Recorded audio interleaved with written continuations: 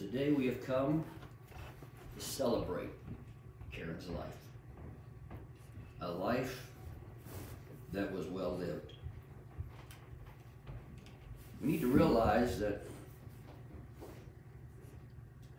Jesus referred when the disciples was talking to Lazarus and said, Lazarus is dead.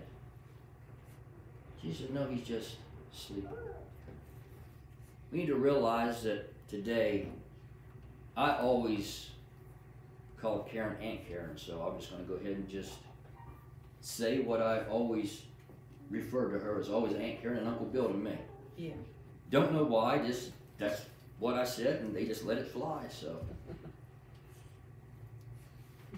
but we need to realize this morning that it's all of our goal. That none of us is going to get off this planet alive. We all got to go through that transition. But how we go through that transition means a lot. When I was talking with Amy, she said very few words, but the words that she spoke to me made such of an impact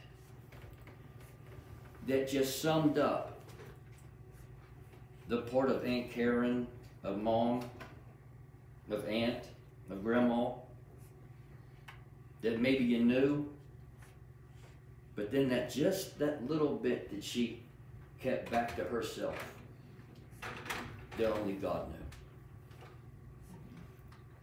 And God knows all of us. There's one thing for certain God knows us sometimes better than what we know ourselves. And Amy unloaded something on me, and, and I'll just be honest with you. I went through the Bible and I had to had to study and everything else to get my license, but I you know you read you read the Bible and sometimes you'll just overlook things even though you read it, you don't let it make an impact on you. Psalms 139, okay. I know it's in there. I, I know I've read it. But shame on me. It took Aunt Caron to open my eyes up to a portion of Scripture, and it, it just amazes me. And I don't want to get ahead of myself here. But Psalms 139 shows us a, a dual thing between us and God of how we look at God and how, how God looks at us. And it was just amazing when Amy said, one, not the only, but one of mom's favorite scriptures was Psalms 139.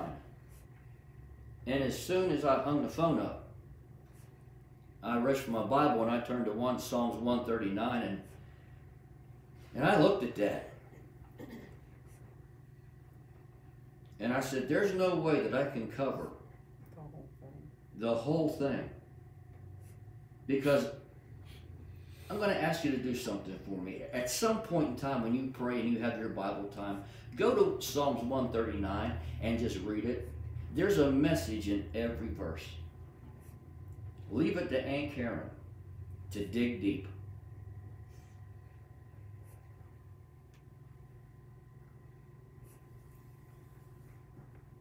I'm going to have us pray. And then I believe we have one more song, The Old Rugged Cross. And then Caron, Aunt Caron, she was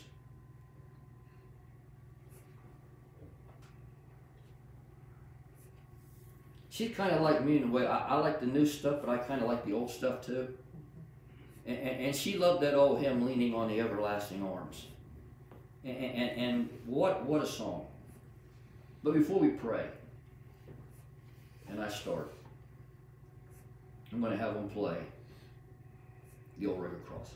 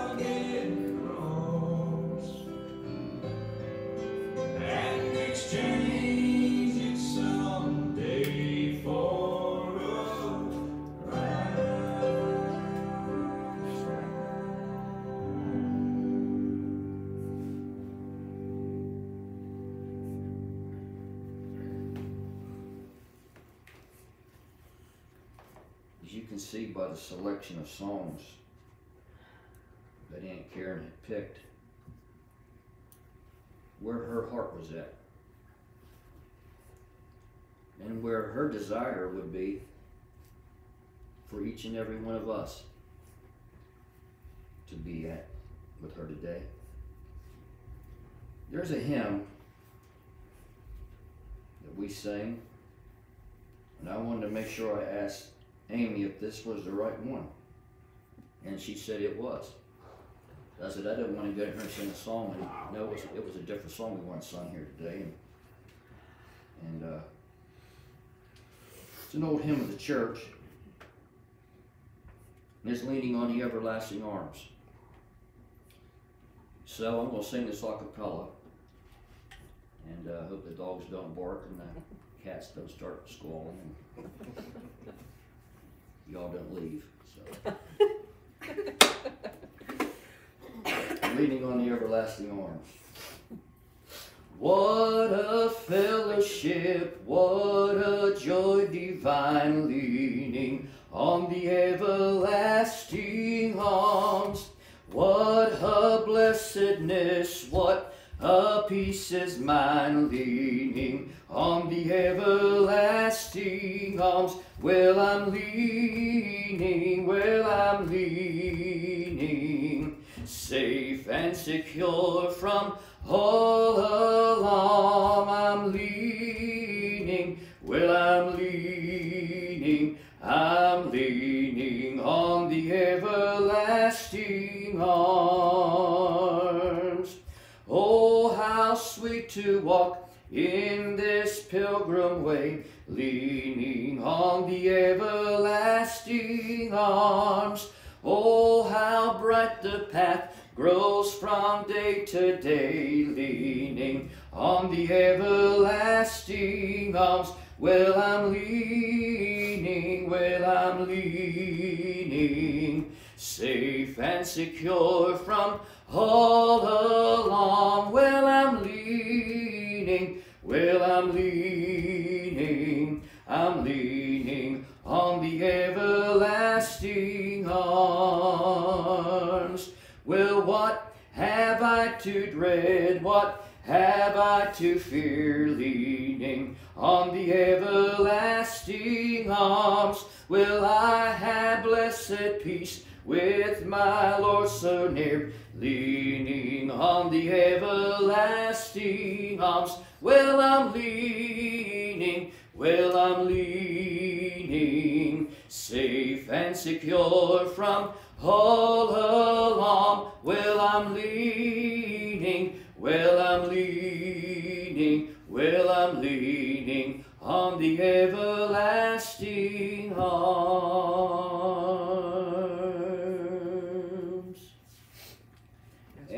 Knew that. That her only strength and our only hope was to lean on Him. Let us bow our heads today before we go any further. Let us pray. Father, Lord, as we come to your presence, Lord, as we stand here today, and we gather here today, Father, I ask you, Lord, you'll be with every family member. Father God, you'll be with every friend. Father God, you'll be with Amy, and Scott, OJ, Father God, the grandchildren. Lord, cover us, cover them, Father God, with your peace, God, that passes all understanding. Father God, with, to be honest and truthful, Father God, even though this is a day of celebration, Father God, we all have a void. And God, that void can only be filled by you in your peace, in your strength. Do that today, Father, I pray. In Christ's name. And everyone said, Amen. Amen. And amen. As I said a little bit ago, today is a day of celebration, a day of reflecting, a day of not only looking back, but a day of looking forward. I told you that Amy told me that just one of Aunt Caron's favorite psalms was one was Psalms 139 after talking with Amy and after me doing some doing some study and some research, leave it to Aunt Caron. Out of 66 books in the Bible, out of 150 Psalms, it's here that Aunt Caron would pick. Psalms 139 to be one of her favorite Psalms which by fact would be one of the top psalms written that you'll find in your Bible. This magnificent psalm really should be no surprise to us that this particular significant psalm would come from David's pen. Because out of 150 psalms that was written in your Bible, David wrote 73. And out of that 73, Amy, Psalms 139. would be one of the most important ones you'll find in your Bible that David wrote. Somebody may ask why. Why Psalms 139? You have all these other books in the Bible, you have all these different verses, you have all these different scriptures. Why would Psalms 139 kind of reach the plateau of being one of the most greatest Psalms written? Because you need to realize that it's one Psalms 139 that Aunt Caron knew that would be the greatest psalm ever written because Psalms 139 would bring us face to face.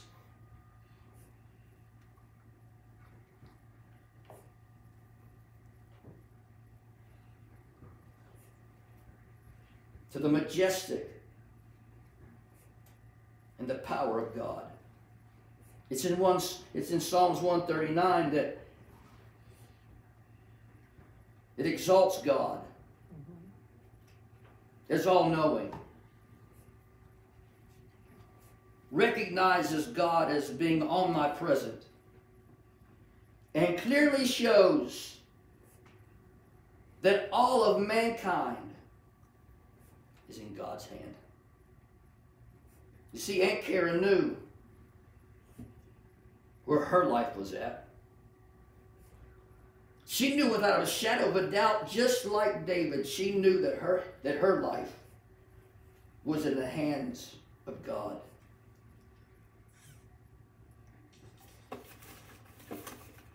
See, it's in this Psalms that David finds that spiritual and intimate place with God.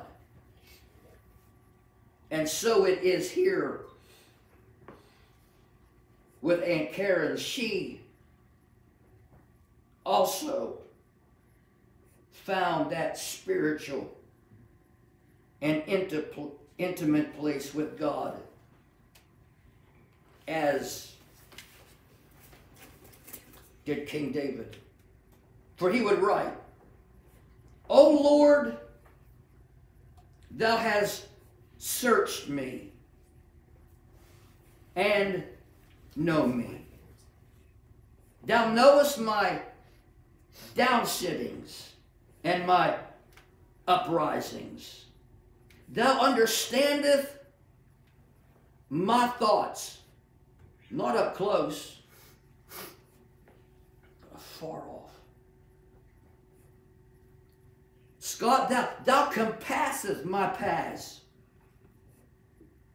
my laying down. Amen. Thou art acquainted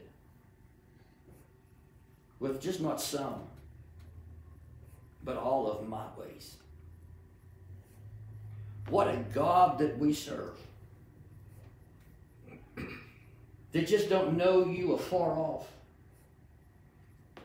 But he's acquainted with you on a level that no human man can touch. And the one thing that he says is it knows you before you were in the womb Yes. and after you're dead. Mhm. And it was all planned out by him from the very beginning. Man, just think what a God you and me serve. Like I said, there's a lot here. I'm going to start out with the first part and I'm going to end with the last part. David would end in Psalms 32 in verse chapter chapter chapter 39 verse 32 there David would write, Search me, O God. Couldn't you just hear Aunt Caron saying that? Search me. Okay. Here I am. Just like David, search. Search me. And know my heart. And try me. And know my thoughts. and see if there be any wicked way in me. and lead me in the ways of everlasting.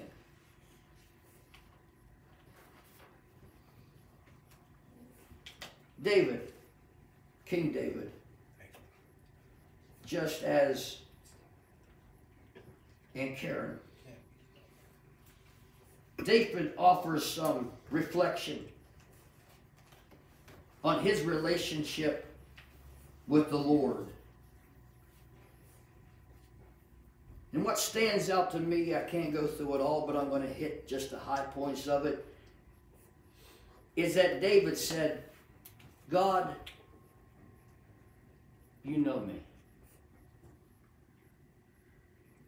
In the footnotes, where I had a space, I put this where it says, God knows me. God knew Aunt Caron. But the most important thing was, is that Aunt Caron knew God. It's one thing for God to know us. It's something else for us to know Him.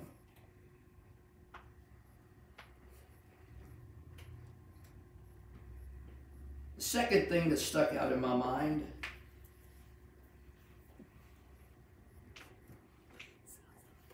is that God keeps me. Not only does God know you, but God keeps you. Amy, Scott, Eric, your mom knew that God was the one who kept her.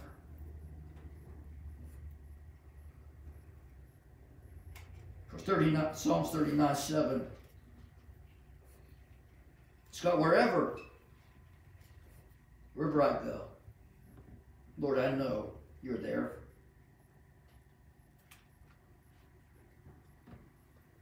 Where can I flee from your presence? Where can I go?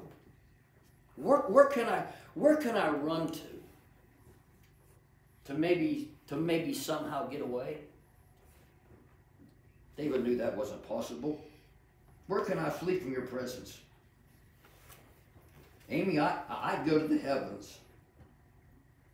And lo and behold, you're there. Scott, if if I make my if I make my bed in the depths where it seems that nobody cares.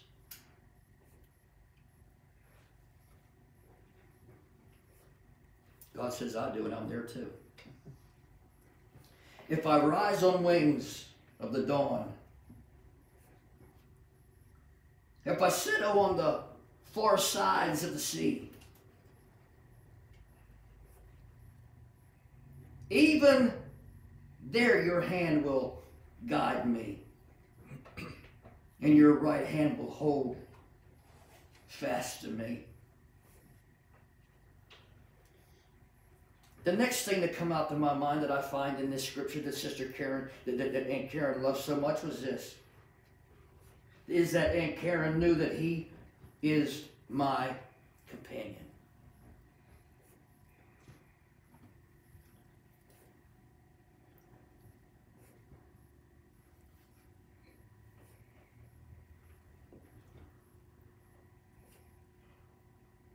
You may not have known this. But Aunt Caron had two companions. Fleshy one, a spiritual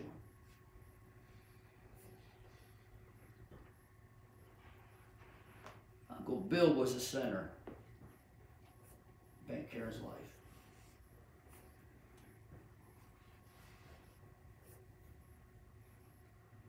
The good times we'd have. When it was nearing the time that God was calling Uncle Bill home, Aunt Caron was there and made sure, without a shadow of a doubt, that a prayer was made. And Bill, I don't want to see you go. But before you go, I want to make sure that everything is all right because I want to see you on the other side. And Aunt Caron made sure. And he said it. Go ahead, Amy. He said it. And he said it. And he prayed the prayer.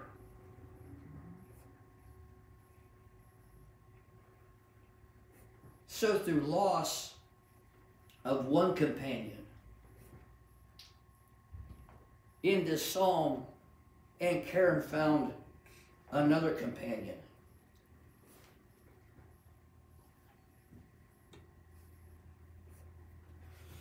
That she found Jesus.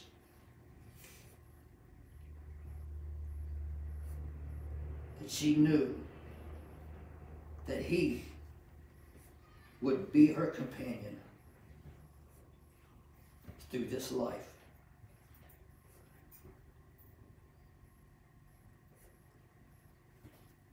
You see, friends and family, as much as we try, our trying is, is limited. We can only do so much, say so much, and go so far. But with God, He has no limits. There's no limitation upon him. David realized that. That even in the remote areas of my life, King David knew it. and Caron come to know it as well. The next thing that comes to my mind probably the most important one of them all, is that David found out that God was his help. Aunt Caron come to that place of knowing that God was her help. Psalms 46 1. And Caron found God to be her refuge and her strength. That present help in the time of trouble. So in this psalm, we find that God knows us. We find that God keeps us. We find that God is our companion.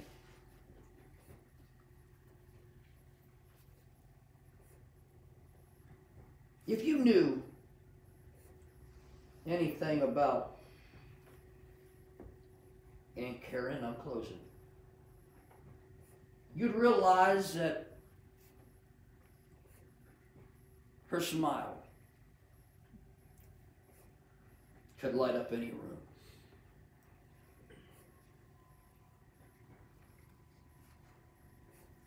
You would know if you was around Aunt Caron, you would know that Aunt Caron liked to joke and, and have fun.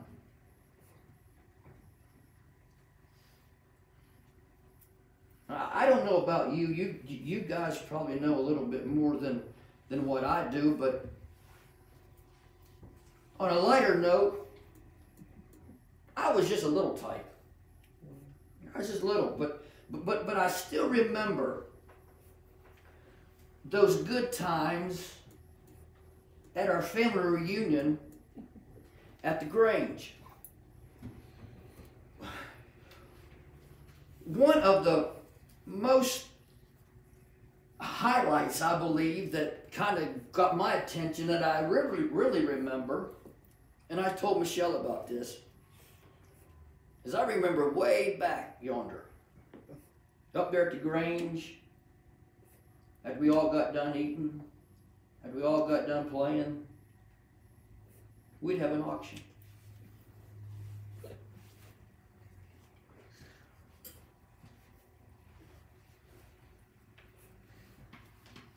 And when you had Dave, and you had Caron, doing that auction, Katie bar the door. You didn't know what was going to happen, what was going to be said, who was going to be wearing what. I think there's some pictures of David wearing some kind of a basket or a hat or something on his head, and, In an Afghan. and an Afghan around him. And I, th- I think during those auction times, I think Caron and Caron and Dave just fed off of each other. It was hilarious. I thought it was funny. I thought that was a highlight of the whole reunion. I loved it when that happened. But they all like to joke and they all like to have fun. I remember one time at your other house, not the brown one, the yellow one. That's how way back I'm going. I, I did something. We was up there for Christmas, and and and and, I, I did something that was probably not good. Which I don't see myself doing that. But besides the point, Dad was after me, and, and, and Dad was the type of person that if he's coming after you, he's going he's going to tear you up. But I still remember this, and thank God, Aunt Caron was an angel. She saved me that night. She kind of stepped out in the way, and she kind of had her hand on her hip like this, you know. Now, Chuck, they're all having fun. So thank you, Aunt Caron. You saved my life. You was a lifesaver that night. I remember another time, and I'm closing. Mom and Dad bought me a racetrack, and, and I'll never forget the expression on Aunt Caron's face. I, I, Mom and Dad had bought me a racetrack, but I realized that in the stocking or in the other boxes there, there was no race cars or things to put on the track. Now, how Aunt Caron knew that she wanted to be a part of. How many realize that Aunt Caron wanted to be a part of stuff? She wanted to be a part of your life. She, she kind of wanted to be a highlight of, of you. Or of you, or of you, or of you. So she bought me a race. uh, Mom and Dad bought me a racetrack, and we don't know what's going to happen, and it's not something else. So later that night, you know, we all loaded up the car like old times, and we shut up to the new house. Yeah. So we was all up there, and I'll never forget the lasagna. She could cook lasagna.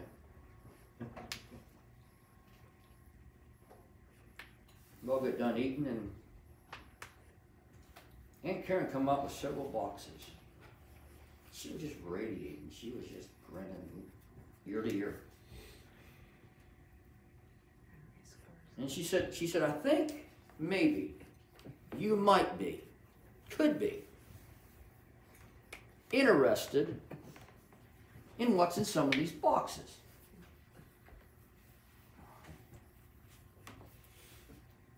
I don't know what it could be. I opened up the first box. It was like 10 race cars. Then opened the next box and it was all the accessories. Not to any track, but to that track that mom and dad bought me.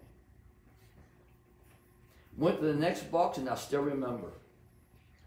To this day, it's stuck out of my mind.